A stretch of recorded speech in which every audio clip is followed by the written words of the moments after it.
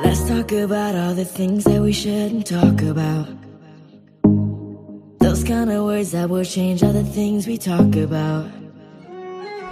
Tell me, do you ever think of us?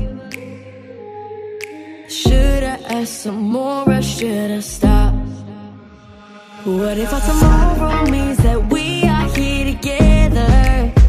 Or what if we are taking chances really crazy thinking about this all together. Or have I been missing the writing on the wall?